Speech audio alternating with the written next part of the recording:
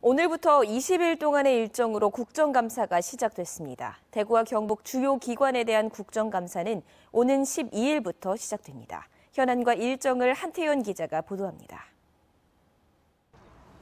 대구와 경북 주요 기관에 대한 국정감사는 오는 12일부터 열립니다.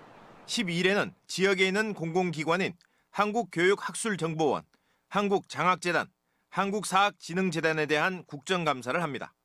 같은 날 역시 국회에서 한국 수력 원자력에 대해 감사가 있습니다.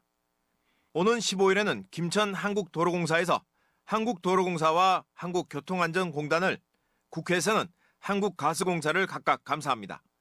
오는 16일에는 경북도청에서 국정감사가 열립니다.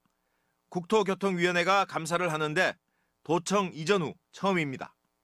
지역 SOC 사업과 관련된 예산 확보와 태풍 콩레이 피해 관련 복구가 쟁점 사항이 될 전망입니다. 같은 날 부산고등법원에서는 대구 가정 지방 고등법원에 대한 감사가, 국회에서는 한국정보화진흥원에 대한 감사가 있습니다. 17일에는 국회에서 대구교육청과 경북교육청에 대해 감사를 하는데 전국 꼴찌 수준인 무상급식에 대한 의원들의 날카로운 질문이 예상됩니다. 오는 18일 육군본부에서는 영천에 있는 육군 3사관 학교에 대한 국정감사가 국회에서는 대구지방 환경청과 대구지방 고용노동청에 대해 국감이 예고돼 있습니다.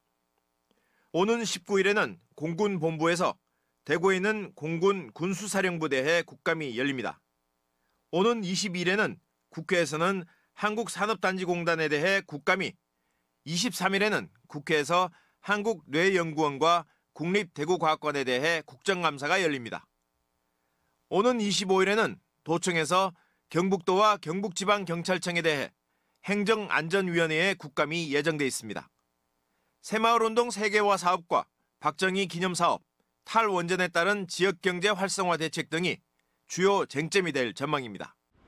이번 국정감사에서 우리 지역에서는 대구 통합 신공항 이전을 비롯해 인구 감소에 따른 지방 소멸, 그리고 일자리 창출과 같은 민생 경제와 관련된 질의도 쏟아질 것으로 예상됩니다. 한편 대구시와 대구지방경찰청은 이번 국감에서 빠졌습니다. MBC 뉴스 한태현입니다.